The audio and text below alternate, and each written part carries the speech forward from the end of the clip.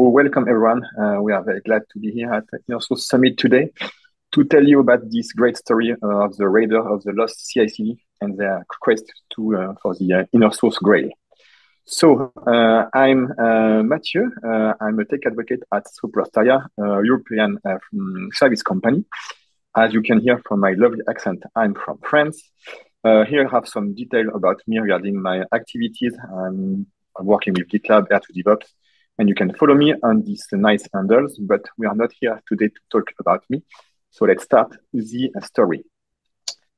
Just a quick disclaimer. Uh, we will do our demo and explanation uh, about Golang language and GitLab platform, just because we love Gophers and Tanukis, but all that we will explain today can be easily applied to any other programming languages or in other platforms such as GitHub for sure. So let's go for the story. At the beginning of the story, we have a lonely rider uh, that is working uh, on his uh, project alone on his side. And this lonely rider today is Thomas. Hello, Thomas. Hello, everyone. I'm Thomas Boni. I'm CTO and co-founder at R2DevOps. I've done plenty of CI/CD pipeline, and today I can say that CI/CD pipeline are at the same time my dream and my nightmares. I will explain just after what is CI/CD pipeline. Today, I'm, as Matthieu said, I'm a lonely rider working alone on my Go API project. I work on this project, and each time I need to release this uh, my new version of of my code, I need to manually test my code, uh, be sure that there is no security issue, uh, build my code, deploy it on uh, on the server. I'm a lazy adventurer. I love to go in a new adventure, but I don't want to go again and again to the same one.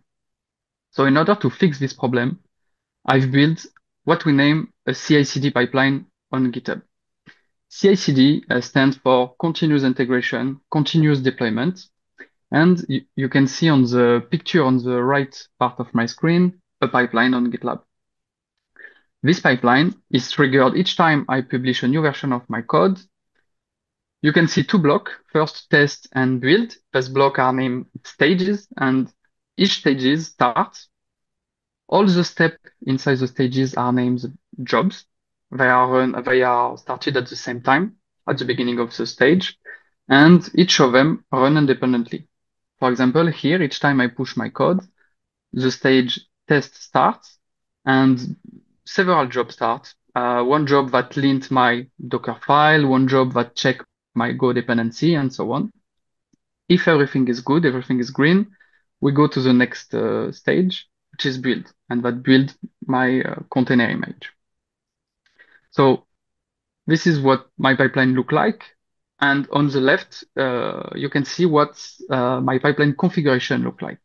So if you are on GitLab, you just need to create a file .gitlab-ci.yaml and write this kind of uh, of configuration to create your pipeline. So here I have first a stage list, stages list with test and build. You can have as many stages as you want. And then I I have all the job of the pipeline. You can name the job as you want, and inside each job, you have plenty of keywords bring by GitLab. Uh, on the slide, you will have the link to GitLab documentation to know all keyword available. But here I use only the mandatory, the main one, uh, stage, to say, to declare in what stage the job should run. Image, that uh, specify because each job are run inside a container, and I need to specify a container image to start the job. And then the script part, it's uh, a list of uh, CLI command to effectively run the job. So here, for example, the CLI run uh, a check of my Go dependencies. So I build my pipeline. It works super nice, and the first thing I do after that is to go to see my colleague, Matthieu, to show him the amazing pipeline I just built.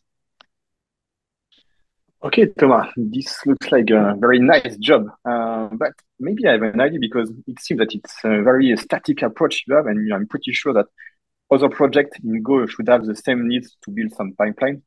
Have you heard about the GitLab uh, CI components? I know it's quite a new feature, uh, but it's really interesting approach to build some reusable job like the GitHub action on GitHub, for instance. It is very easily extensible. You can version them. You can also document them so that everyone can understand what your job is doing, and you can even test them. I know you don't like test, but test is not doing. You have to test sometimes. And with the uh, component, you can do that. A quick sample of that is, as you can see in, in this one, is that it's very close to your declaration of the job that you have in your previous pipeline, but you can add some inputs into your, your job so that everyone can easily customize your job to fit their need regarding their project. So this is the same way you are doing, but with a more flexible approach so that everyone can maybe reuse uh, your job and your good job, uh, the good job you've done on your project. What do you think about that? Maybe it can be interesting for your project. It's amazing. It, thanks a lot, Matthieu. I didn't know about this. It's a super nice idea, and I will use it for my project. Instead of having hundred of uh, CI/CD of hard-coded uh, YAML line, I will just pick reusable component that you publish on the that you publish. And so I've migrated my my project and here you can see the result. Instead of having all this um, uh, super hard to maintain YAML line, I have a super simple uh, reference to component with version and uh, even with a variable to, to adapt the components to, to, to my specific needs. Let's look also so, now. Yes, thanks for that. And so now, Matthieu, our uh, both projects are great. We have uh, both of us super nice pipeline, but look around us. Around us in our company, it's a chaos of hard-coded and dead pipeline. We need to help I, everyone. I know. I have maybe an idea. Um, there is the GitLab native CI/CD catalog. It's a feature inside GitLab where you have a dashboard to view all the components that are available on the platform. It's quite easy to use. It's an overview of, uh, all, all, the components. You can see what are the jobs that they are contained with this component. So it can be an idea, but I, I don't know if it's the right one because it's not that clear for me. Uh, because, for instance, on GitLab.com, you have hundreds of components. How do I know which are the good ones that I should use for my project?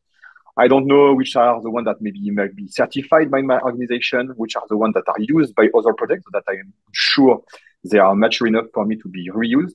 And you know Aurélien, our security officer. I'm pretty sure he won't like this approach to have some very open uh, job running into our um, enterprise pipeline. So I don't know about your feeling, but I'm not sure this is the right uh, approach for our CI/CD catalog that we want to put into the company. I think you're right. It's it's a good start, but what we need is really the perfect uh, um, the perfect uh, product to use uh, to have our CI/CD component catalog scoped to our, our company in order to have an inner source approach on it. So first, uh, world is vast and we need a place dedicated to our company to allow our colleague to easily find components really dedicated to their need, to our co internal company process, and uh, to be able to contribute on them.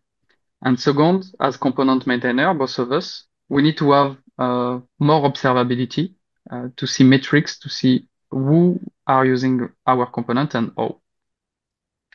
And in order to do this, um, I can show you quickly how to use uh, uh, the free part of uh, product R2 DevOps uh, to achieve this two goal. So basically, inside our company, I've uh, imported all the components you've built, Matthieu, and everyone each of our colleagues can connect with their GitLab account and access the list of the component.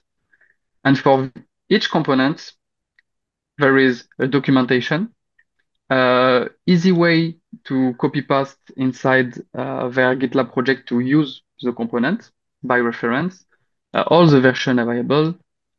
We have the code, the changelog, and in order to allow them to contribute easily, we have a link to the repository to directly uh, uh, create a branch and, and make a, a, merge request, and as well a link to issue to easily open an issue if something wrong with the component.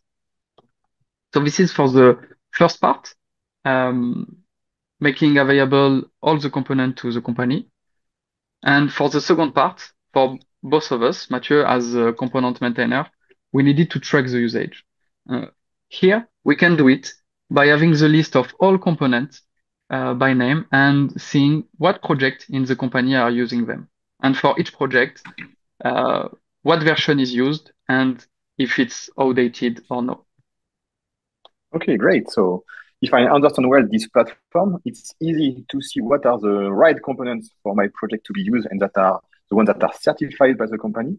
And for Aurélien needs uh, as a security officer, he can easily see what are the bad students of the project that are not using the right version and the right component uh, of the project so that they can can go and see them to to tackle them. So that's quite an interesting one. Yeah. Am I right on this? Exactly. Part? You're totally right. Great. Great. Great. So uh, we have now finished our story for, for today. We reached a pretty good uh, level of inner source sharing of CI/CD component in our company. So the moral of the story now. First, why the inner source approach is important for CI/CD. Uh, CI/CD pipeline now are really the spine of the security and delivery in all software company. It's a really complex field requiring extensive knowledge in different tools and usage. It's super time consuming, super hard to maintain. It evolves fast and prone to uh, a lot of security breach. And for the next year, Gartner predict that almost half of the company worldwide will suffer a supply chain attack. So inner source uh, is really a great solution to allow in, inside the company to allow everyone Euh, to set up a euh, secured CI/CD pipeline in a minute. Okay, the 45% is quite frightening, but we have to, yeah. to do something about that. Okay, thank you. So, but maybe we can learn more than just for CI/CD regarding uh, an inner source strategy and how we can make it successful. First, if you see some duplication within your company into the CI/CD, but maybe also into the application, this should be an alert sign for you. Duplication is bad for the company, so we will have to do something about this. And inner source is a good strategy to tackle that. Sharing is easy. It's very easy to say, okay, I've done a good job on this part and so on. Very, very easy and fast. But the reuse is very complicated. How I make other people reuse my component and my application and so on. So to do that, some few uh, clues that we may uh, try to share with you today. Think uh, extensibility and customizable. We, the project has specific need so the magic component that fit all the project doesn't exist at all. It has to be extensible so that if I want to reuse something, I have to be able to adapt it to my context. Also, think the right scope, the right size of your component. If the component is too small, not enough value, I will lose more time to try to integrate it than to do it on my own. And too big, it may be too complex to integrate maybe too scary also to onboard on such a big part. So I may, may say, oh, I maybe not don't need everything and so on. So I can be aware. So think the right scope. Of course, document clearly all that is included within your um, component so that I can understand as an end user what I will be able to um, use from your component, what are the feature and so on. Very important part also is to measure the usage. Uh, measure to know if you are sharing right, because you can share, as I was explaining clearly, easily, but if nobody is reusing your components, that's bad. Maybe because it's not that clear, maybe it's too small, too big. So you have to rethink what is the right level of each thing. And by measuring the usage, you, you are now able to see what are your maturity regarding the inner source strategy you have internally. And of course, as Thomas said, CI/CD can be an easy way to initialize your inner source program because CI/CD is now the backbone of most the, of the system uh, in all the company. So it's a central point of all the company. So inner source program is a central program also. So the CI/CD makes sense to have this inner source approach a good start.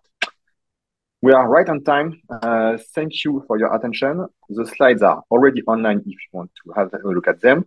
The demo are also online. If you want to reach uh, Thomas and I, we are on the Slack, of course, but you can also reach us on X or uh, Blue Sky.